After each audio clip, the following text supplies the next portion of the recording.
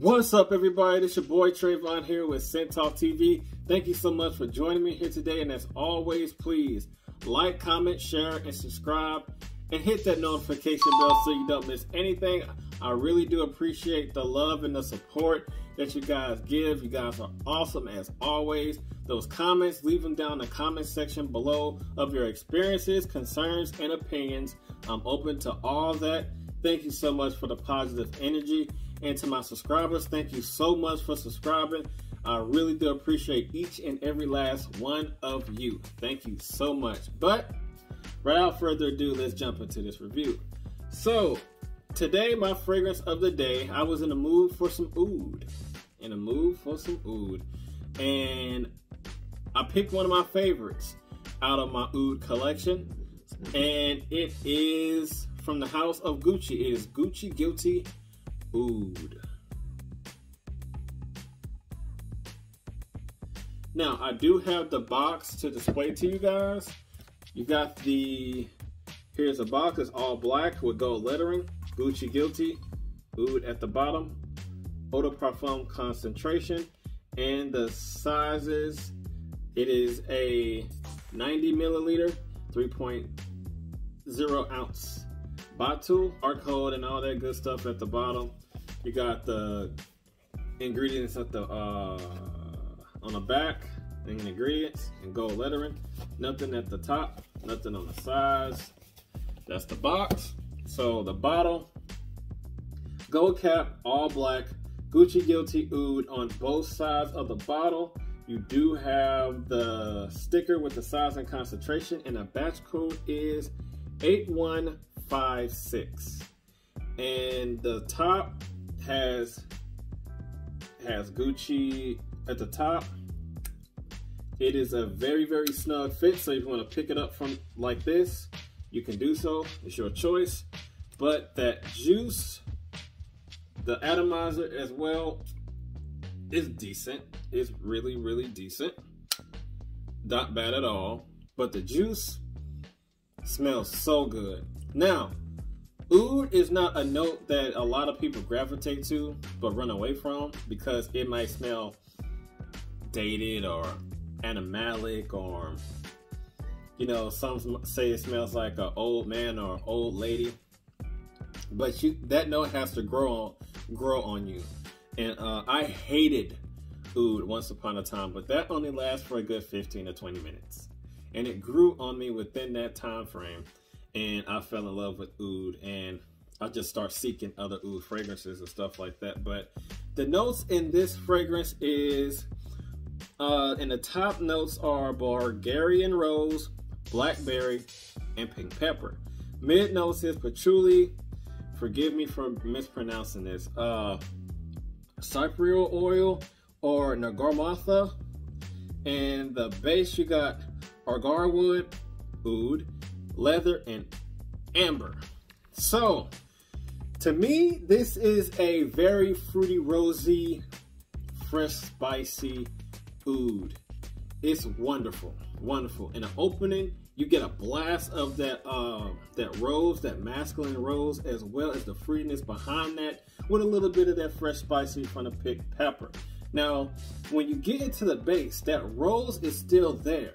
That fruitiness and the pink pepper kind of fades away a little bit, but the rose is still dominant right there throughout the uh, opening into the mid.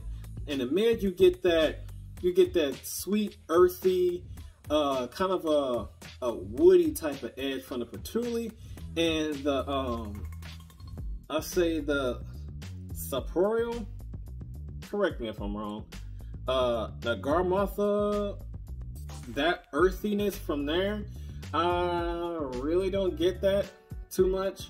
Um, but I get a, a lot of that patchouli over though over that note. I get more of that patchouli as well as that that rose note. Um, then you get to like you know a couple hours in, and then you get to the base. You get that. That's when you get that oud. Now the oud really does creep in a little bit faster than uh um into the mid. It does creep in a little bit more faster. Um, you do get some leather in here, and you get that warm, sweet coziness from the amber as well. Um, that the amber is kind of dialed down a little bit, but what you really are left with is that rosy oud with a little bit of that fruitiness in the background and that leather touch, that leather edgy touch. Not too dominant, but it's there. So with uh, the whole fragrance, you get this fruity, rosy oud, and it smells incredible. Now, the longevity is average. You know, it's not a beast. If you want to be a beast, just spray like crazy. But that's up to you. I'm gonna overspray it, so I'll go crazy with anything. But with this one, it's not. It's a oud fragrance, so you probably want to uh, simmer down on your applications with this one because not a lot of people gravitate towards uh, oud. Nor is oud like a well, in my experience, like a highly complimented uh, note or fragrance. Like oud fragrances is not highly complimented all the time, so it's not. It doesn't have that big old compliment factor like a uh, like a YSL Y eau de parfum or something like that. Those those king complimented fragrances, you're not gonna get those compliments out of this one, at least on me. But who knows? Your skin chemistry might blend well with this, and you might uh, get a couple of compliments or two. Who knows? But uh, yeah, I got a solid like you know, eh, I'm gonna say five to six hours. Okay, I got a good five to six hours. Uh, the projection was good within the first hour. It set close to the skin. Within an elbows length or kind of like um, like right here, like around this area, it projected that much. Um, it does leave a nice scent trail uh, within that hour. But after it sits close to the skin, that scent trail kind of like cuts in half. I say the scent trail is um it's moderate. It's not a beast of a scent trail. You know, you're not people's not probably gonna smell you like a thousand feet away, but it has a, a moderate uh, scent trail, um, as well as the um the age group. Age. This is more of a mature. I'd say like middle age on up. You know, probably like 30 on up. Um, this is a unisex fragrance, so the women can pull this off too. Uh, let's see the seasons. I would say you know cooler seasons like fall, wintertime, and like early spring. I think this will be a little bit too cloying for the uh, summertime because of that that strong oud note. It does have like a fresh spiciness to this where you could pull it off in the summertime, but I wouldn't pull this off in a high heat. I, I just would I wouldn't do it. I do it like cooler seasons like uh, fall, winter, cooler days in the summer and the spring. But if you want to wear it anytime, any place, that's up to you. This is good for outdoor events. Uh, I wouldn't wear this to the office. I, I, don't think I would wear this to the office, but you know, oud fragrances, in my opinion, you gotta find like a certain occasion to wear this because this is this doesn't have a lot of versatility it's just kind of the uh, this is kind of like an occasional type thing you know um, if you want to dress it up and or if you want to dress it down i say like you know errands going to grocery stores or something like that but you know you can wear it to work but make sure you like you know don't overspray with this.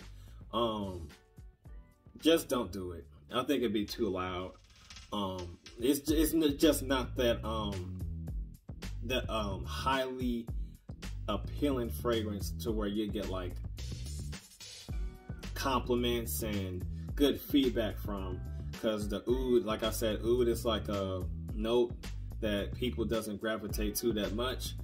But uh, if you want to do wear it anytime any place that's on you. But in my opinion i say like you know you can wear it to work dial it down a little bit. Uh outdoor events you know where it's like wide open area. If you're at a job where you know, warehouse, you can wear it then. Uh, around that, uh, people around there where it's wide open, got some space. Um, cause when the first couple hours, this is kind of loud. Uh, this is kind of loud and you don't want to offend anybody. So I say dumb the applications down. Uh, well, uh, let's see. My final thoughts on here, on this oud. This is a beautiful oud. It's uh, rosy. It is fruity. It does have some maturity with the earthiness. It, um, it's warm. Uh, within in a dry down, it gets a little bit warmer from the amber.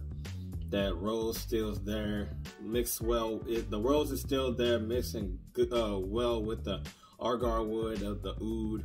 Mixes very well. Uh, unisex, women can pull this off. It's great. I love this scent. Um, yeah, I um I bought this um at my local discounter shop at the mall, and um I think this is discontinued. I haven't seen it in retail anywhere. I used to see this at retail, like I think like a couple months ago. Then I didn't see it anymore, so I think it's discontinued. You could probably find it online, Fragrance X, FragranceNet, I don't. But uh, yeah, if you see this for a good price, pick it up. I got this for Mm, I think like 90 bucks. It's probably a little bit steep, but it smells like 90 bucks. Oh no, it smells uh, a lot more than 90 bucks. This is a great fragrance. I love it. Um, yeah, that's all I got for Gucci Guilty Oud, ladies and gentlemen. Um, if you are interested in oud fragrances, this is a good one to start with, with as well. Uh, Banana Republic um, Oud Mosaic. You can start off with that one. It's a little bit more affordable. It's way more affordable. 20 bucks, find at Burlington's for a little or nothing. Uh, 20 bucks, can't beat that as a good beginner uh, design, uh, designer oud. But if you want to take it up a little bit, uh, take it up a notch, and you come across this, pick this bad boy up. It smells pretty good. Probably, if you don't like it, you probably gotta let it grow you a little bit. Give it a chance. And then, uh, if you want to try something new, you want to get away from like you know your usual, you want to get into some oud, that's a good one to start off with. Gucci Guilty Oud, Eau de Parfum. So that's all I got, ladies and gentlemen, for Gucci Guilty Eau de Parfum Oud or Oud Eau de Parfum. So I'm here, Trayvon here with Scent Talk TV. Like, comment, share, and subscribe. Hit that notification bell so you don't miss anything. And I will see you in the next video. Be safe out there, people. I will see you later. Peace. I'm out.